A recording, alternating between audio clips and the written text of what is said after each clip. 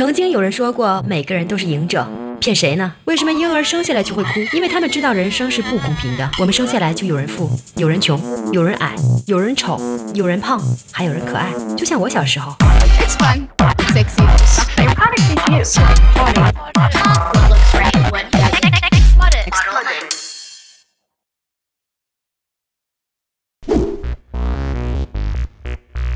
别人家的孩子还在学走路的时候，我也已经开始喜欢臭美了。小时候总有人夸我漂亮，家里聚会时，上幼儿园时，上小学时，妈，我不是说把这张照片扔了吗？没事儿，没事儿，没人看见啊。总之，我还是被一个法国星探看上了。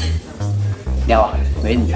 什么是星探？其实就像一只猎狗，它们永远在寻找更嫩、更新鲜的猎物。真的很漂亮的。去过法国吗？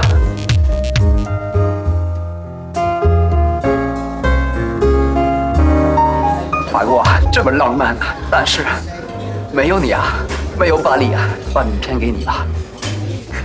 不好意思。他跟我讲巴黎的美，巴黎的浪漫，还有埃菲尔铁塔，而我呢，更是幻想着巴黎的时尚，我的名模梦。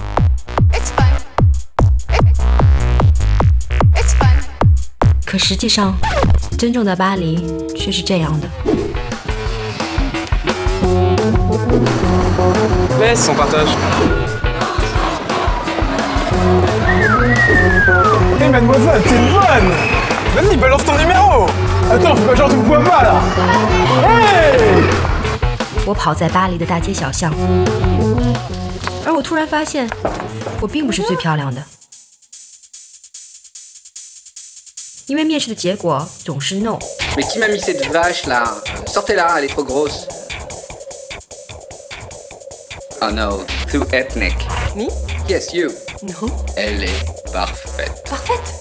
有的时候他们说 yes，可我更希望他们其实说的是 no。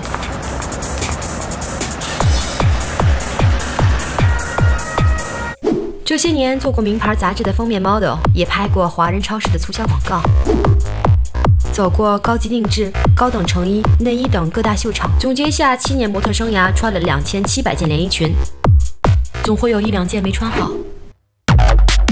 七年里，脸上被涂了八公斤的粉底，三公斤的定妆粉，想想有时候更像动画片里的人物。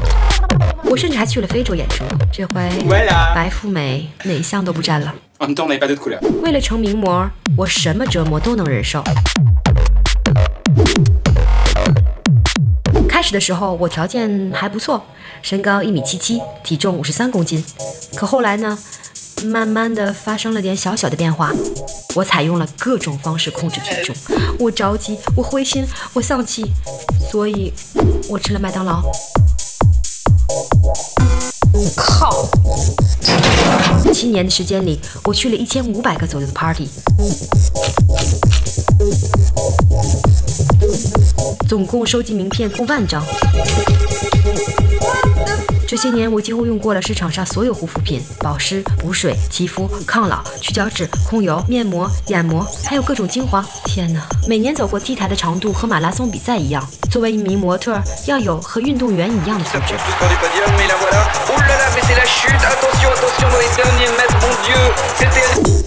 但辉煌的时刻总是过得太快，因为模特的生涯也和运动员一样短暂。曾经想火的我，还没来得及成为 top model，就已经成了一位 X model。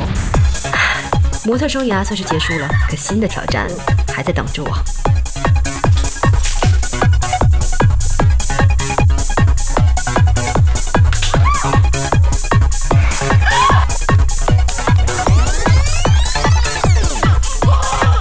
怎么样，人生是不是很精彩呢？It's fun. Mais t'inquiète, t'es awesome. Tu veux un café Noir kind of confused. Like,